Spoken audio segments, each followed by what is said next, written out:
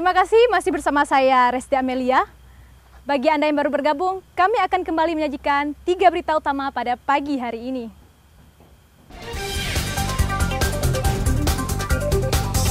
Sedikitnya 196 imigran Rohingya terdampar di pantai Kale, Kecamatan Muara Tiga, Kabupaten Pidi.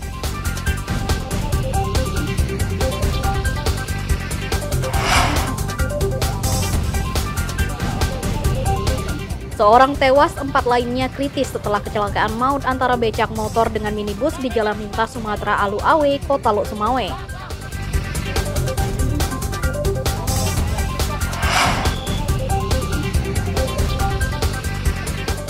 Sebuah permainan rakyat bernama kemekup atau menangkap ikan dengan tangan kosong berlangsung seru dan disertai gelak tawa warga Banda Aceh.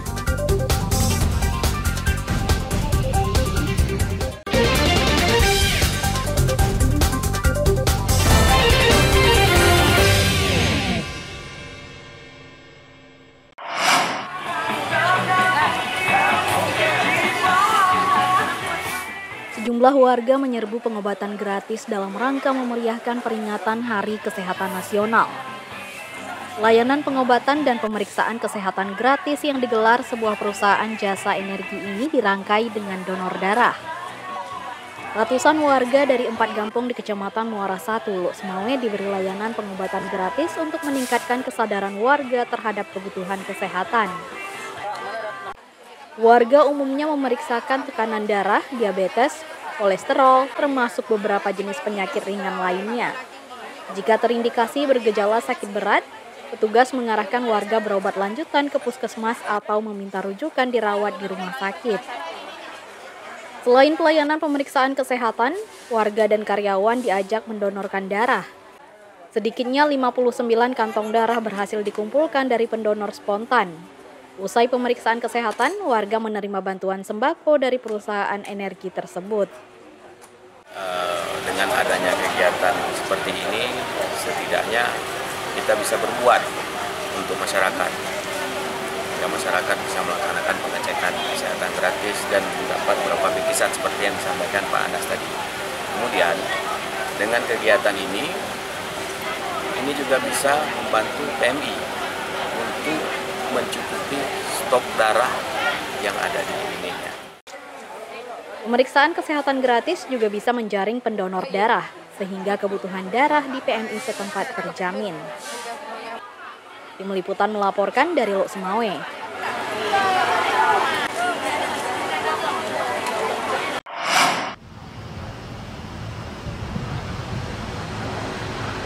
Kafilah Musabakah Tilawatil Quran MTQ Kabupaten Nagan Raya terus mempersiapkan diri menghadapi MTQ ke-36 tingkat provinsi. Para wakil Nagan Raya ini mematangkan keberangkatan ke MTQ di Sinabang, Pulau Simelu yang berlangsung mulai 26 November 2023. Persiapan kafilah MTQ Nagan Raya terus dikebut. Pemusatan latihan atau training center atau TC Pamungkas dijadwalkan pada Jumat mendatang menentukan persiapan kafilah ini. Apalagi para penguji dari LPTQ Provinsi Aceh ikut dikerahkan melatih para peserta. Anggota kafilah MTQ asal Nagan Raya berjumlah 50 orang. Wakil kabupaten di pantai barat Aceh ini mengikuti seluruh cabang yang diperlombakan pada MTQ tingkat provinsi tahun ini. Kafilah MTQ Nagan Raya direncanakan berangkat pada tanggal 23 November 2023 mendatang melalui Pelabuhan Labuhan Haji Kabupaten Aceh Selatan. Jadi untuk kesiapan Kabupaten Nagan Raya sudah siap. Jadi insya Allah kita uh, hari Jumat, Sabtu, Minggu ini kita tisi terakhir. Uh, jadi uh, kami mengharapkan doa dan uh, dari masyarakat Kabupaten Nagan Raya uh, maunya uh, Kabupaten Nagan Raya bisa masuk lima besar insya Allah untuk berangkat ke Semelu insya Allah tanggal 23 November hari Kamis kita berangkat ke Semelu melalui kalau tidak ada apa-apa melalui uh, Labuan Haji. Sejauh ini seluruh persiapan telah rampung termasuk transportasi dan akomodasi. Dukungan warga Nagan Raya sangat dibutuhkan agar target lima besar pada MTQ tingkat provinsi bisa terwujud. Basriadi melaporkan dari Nagan Raya.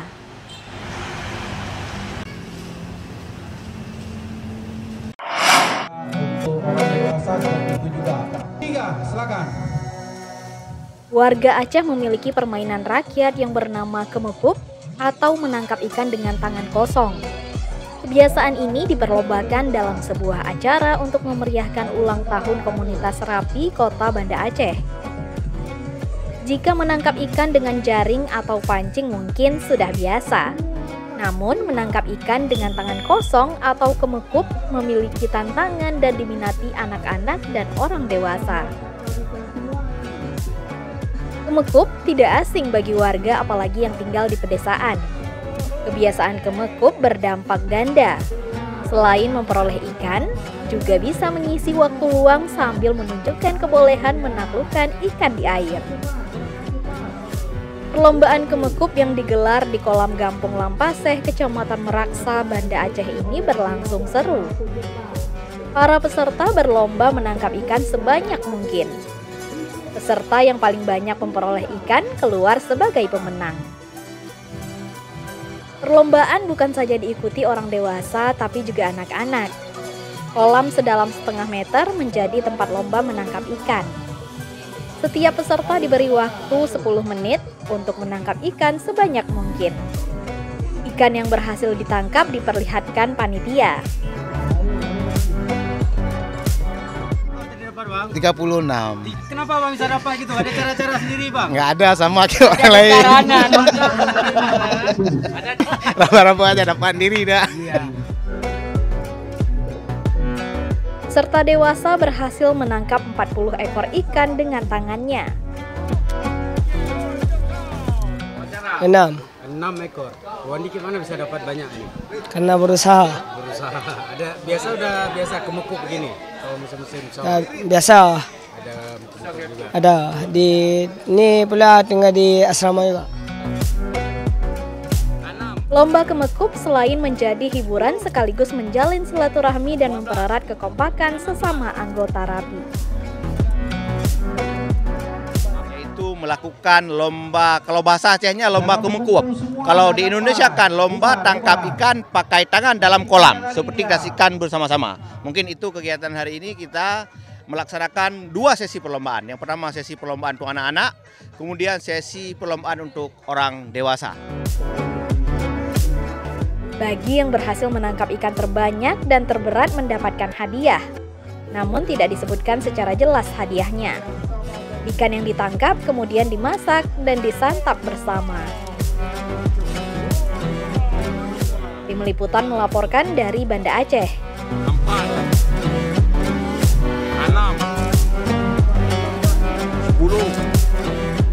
Saudara, informasi tadi sekaligus menutup perjumpaan kita pada pagi hari ini.